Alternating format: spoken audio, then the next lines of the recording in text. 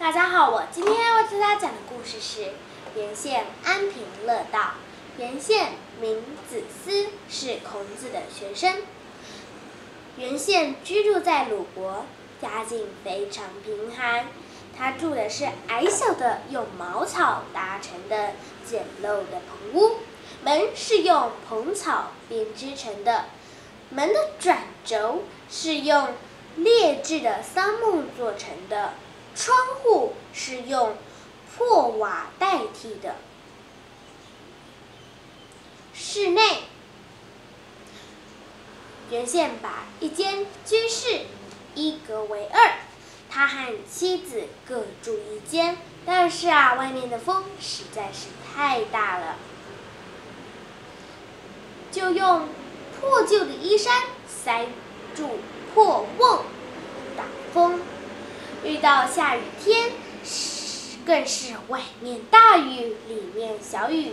但原宪不以为意，正襟危坐，一面弹琴，一面唱歌，一点也没有愁苦的样子。一天，同学子贡做官以后来看望他，子贡穿着华丽的衣服，乘着高头大马所拉的轩车，由于车。太大了，没办法进入巷子，子贡只得下车步行到原宪的家里面。子贡看见穿着粗布衣服、脚上是没有后跟的鞋子、拄着一根梨木的手杖，却很是寒酸，便说：“老朋友，你的面色很不好，是生什么病啊？”原宪笑了笑，回答说：“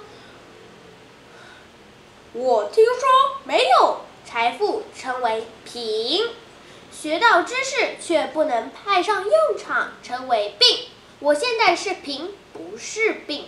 现在有些人迎合世俗，和可以利用的人可以结为朋友。他们为了使别人看得起自己而去求学。”为了提高自己的声誉而去教诲别人，嘴上讲的是仁义道德，实际做的是奸恶的事。我之所以安贫乐道，就是因为不愿去做那些事呀。今天故事讲到这里，谢谢大家。